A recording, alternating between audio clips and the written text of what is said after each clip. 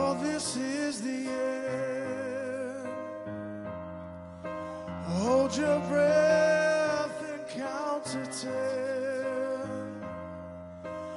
Feel the earth move and then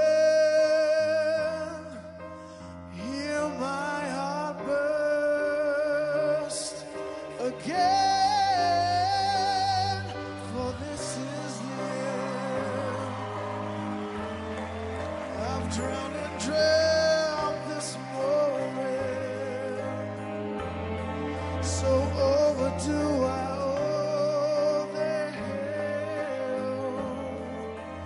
Swept away, I'm stolen.